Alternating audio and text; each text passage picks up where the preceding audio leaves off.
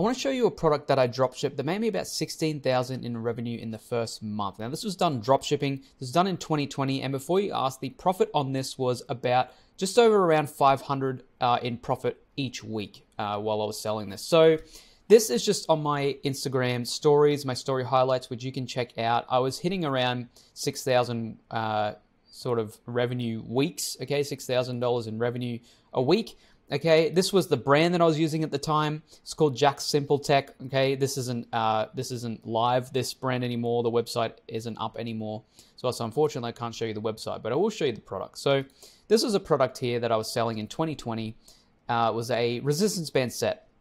I'm to talk about what the product is, and then I'll talk about why it works so well. So resistance resistance band fitness set uh, was something I sold right at the start of COVID. I started at around basically when COVID started, when the lockdowns in Australia started, because this was an Aussie only store. Okay, I was only dropshipping to people in Australia, only targeting my Facebook ads. I only had one sort of ad creative, one sort of photo that I was running for my Facebook ads, and I was just targeting people that wanted to do fitness. So this was the product. I was selling it for around $50, $60 at the time.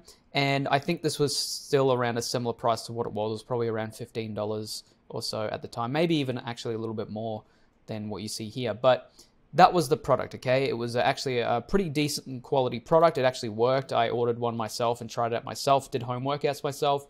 So that was the product. Now I want to run through why I think this product worked, okay? So first of all, uh, it solved a big problem. This is why I ended up selling 16,000 in revenue for that first month that I started selling it.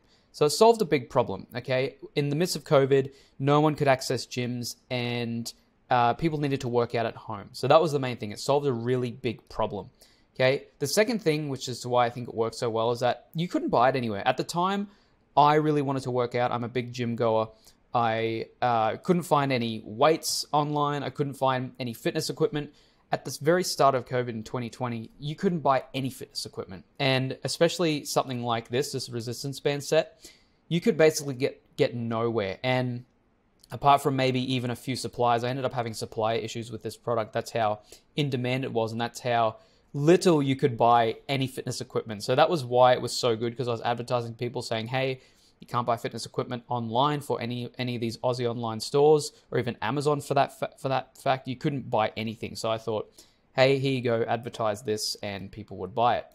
Also, it was high quality. That was a big thing as well. The shipping wasn't too bad. It was probably around 15 to 20 days. And at that point in time, we were in lockdown in Australia for like three months at the minimum.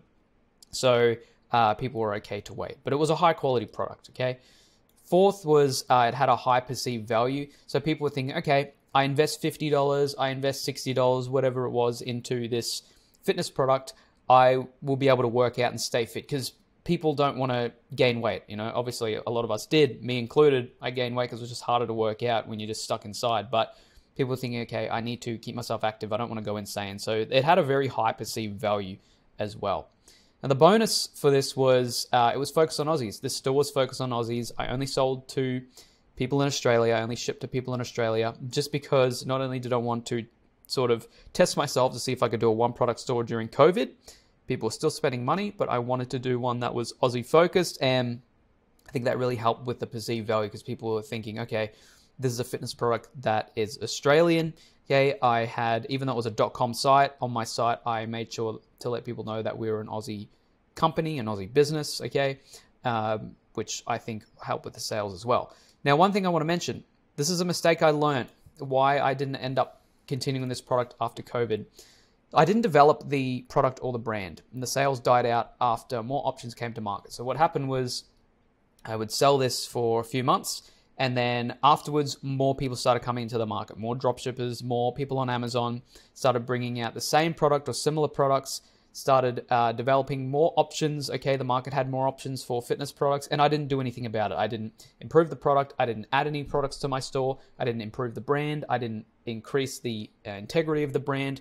Didn't do anything. I just because I was still sort of somewhat new to finding, I guess you could say, winning products, wasn't really sure on what to do. So that was a lesson I learned. So if I was to do this again, say sell this same product or sell a similar product in a similar situation, I would brand out even more. I would increase the quality of the product, maybe get the product branded, maybe include bundles and things like that, and just delve more into advertisement, trying more ad creative. So just learn from my mistakes with this, okay? When it comes to dropshipping, when you find a product that works, don't just stick with the same ad, the same techniques for months and months on end because sales will die out. Just like with this brand, with Jack Simple Tech, okay, back in the day, it was a good brand, made some really good sales, made some good profits, but I didn't, uh, the mistakes that I learned is I didn't grow on it. So learn from my mistakes and grow on what you have. You don't have to completely reinvent the wheel, just just keep building on what you already have. Okay, so would I sell this product right now? Maybe not. I would still sell fitness products. They still work great, but you got to be a bit more inventive. Okay, well, not so much inventive, but you got to just sell something that's a bit more creative because there's so many of these around now. Still go into the fitness industry. Just uh, look into building brand more and adding a few more products to your store. Maybe do a small niche store in a particular niche of fitness. That's what I would do. But this is a product that made me 16k in the uh, in the first 30 days of selling. And I uh, hope you learned a little bit from it and from my mistakes. But go out there and try it yourself. Dropshipping still works.